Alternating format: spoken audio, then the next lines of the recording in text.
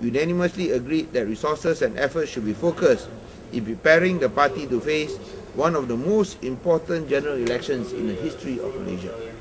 So saya rasa keputusan yang dibuat oleh AMNO dan juga oleh MCA sungguh pun sebelum ini Presiden MC menyatakan bahawa uh, pemilihan parti akan dijalankan pada bulan Mac.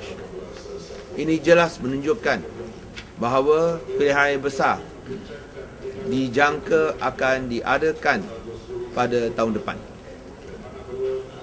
Sekiranya tidak, tidak ada sebab mengapa UMNO dan MCA, khususnya MCA, kerana sebelum ini Dr. Chua Salik telah nyatakan akan jalan seperti biasa.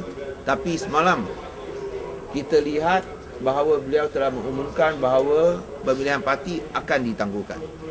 Oleh itu, ini adalah satu petanda yang amat jelas bahawa pilihan raya besar akan diadakan pada tahun depan dan oleh itu untuk membolehkan kita bersiap sedia menghadapi pilihan raya besar maka uh, DAP akan menangguhkan pemilihan parti untuk tahun depan.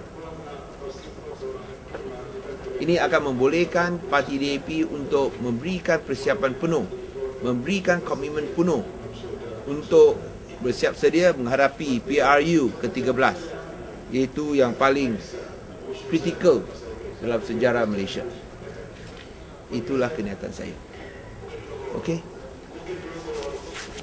I do. I think it's very clear. Nothing more to add.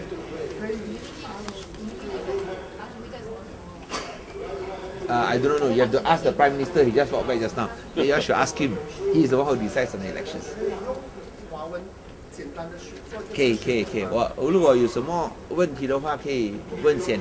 If there are any questions, can you please ask first before I switch to Mandarin? A very short one. I think it's all clear in my statement. very short statement, very clear.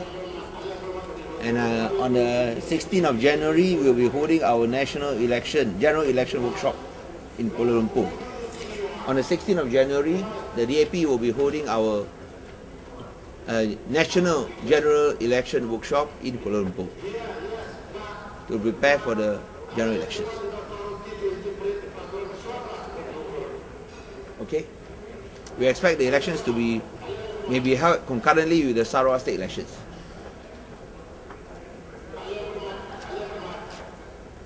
Okay, itu tak ada soalan. Saya rasa itu jelas. Tak ada apa-apa kontroversi. Itu hanya satu pengumuman. Dan uh, ini adalah keputusan yang dibuat sebulat suara oleh jawatan kuasa tertinggi pusat.